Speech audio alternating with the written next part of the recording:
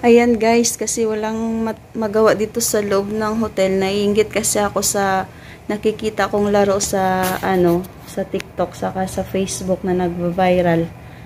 Kaya walang magawa. Gusto ko rin maglaro mag-isa.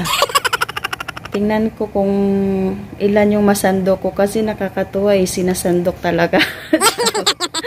Nabaliw ng OFW, walang magawa sa hotel, pitong araw, isang linggo yung quarantine. Ano ba yan? Yan nakasamang dollars, tig 500, may 50, may 20, isang libo, limang daan. Try ko rin kasi nakakatuwa eh. Ayan guys, wala kasi ako magawa dito kaya gusto ko maglaro. Nakakatuwa kasi tawa ako ng tawa habang nanonood sa kanila. I-try ko rin, pwede kaya to. Game. Ayan na, hindi nga makita, oh. Talagang ano siya.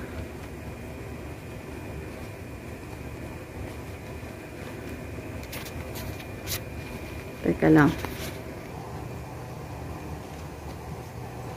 Ayan na, hindi ako nakakakita. Sana yung kutsara. na, nabaliw na. Ayan na, di ba mo kasanda? Ala. Sana yung pinggan. Ang saya pala.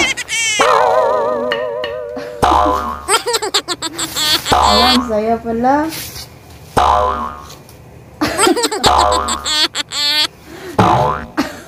Tawa na eh. Alang dami.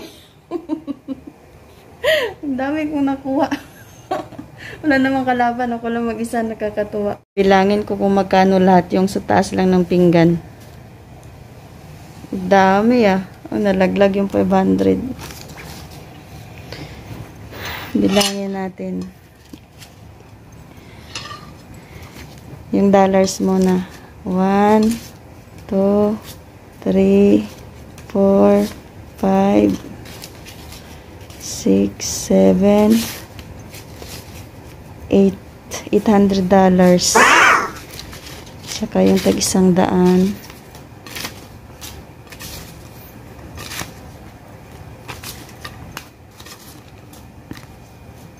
Nine. Cinquenta. Magkano ba to lahat? One. Two.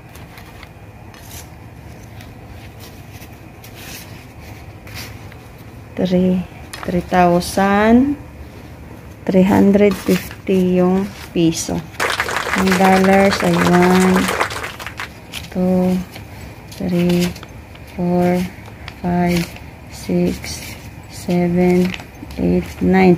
900 dollars and 3,350 pesos. Walang kalaban. Naglaro mag-isa. Ay, Diyos ko, nakakabaliw talaga dito sa quarantine facility. $900 magkano na yan? I-times mo siya sa ano sa 50 mga 50,000 charot wala magawa sa buhay. Ang sarap pala ng larong to eh. O diba akong panalo kasi ako lang mag-isa maglaro ula kalaban